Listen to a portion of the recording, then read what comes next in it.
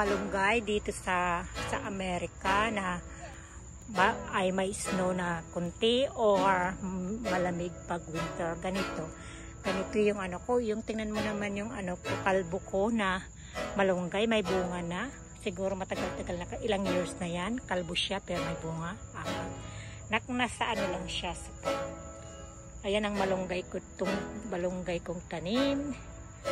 Dito sa USA, North Carolina. Ayan, o, diba? Kasi pag, parang inaano ko pag tatanim ko ako sa, ano, sa lupa, mamamatay kasi malamig eh. Malamig dito pag winter. So, yan, kahit kalbo, kahit kalbo ang malunggay ko, may ano, may bunga. Ah, pati na ba yan?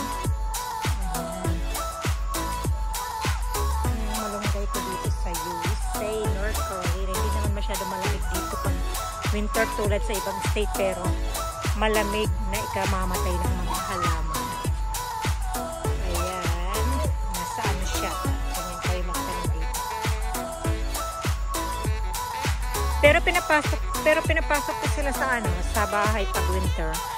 Kaya nabubuhay sila. Pero pag iiwan ko siguro sila sa labas, talagang mamamatay sila pag winter.